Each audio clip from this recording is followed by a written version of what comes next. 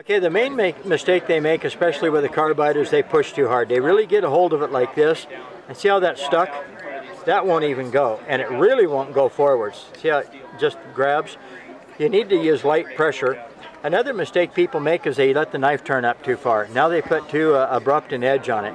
You have to keep the knife tip down, duplicate the edge like this so it's sharp.